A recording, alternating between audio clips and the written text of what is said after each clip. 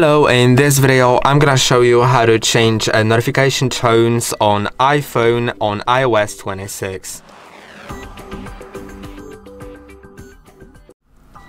To do it, go to the settings. Now uh, in the settings you'll be able to simply go to the sounds and haptics and then go to here and you'll see that um, there are different uh, tones for different types of alerts. So for a text tone, for incoming text, uh, you can set it to something um, like, for example, let's, let's, say that. Of course, you can turn the volume up. Uh, the ringer volume has to be up, so I'm just gonna turn it up here. Now, um, you can just hear the pre preview of these things.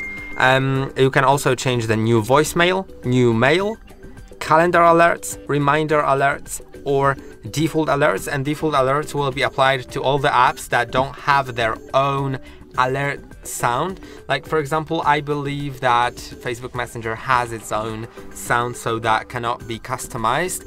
But if an app just uses uh, a third-party app uses a default alert sound, then that can be changed here.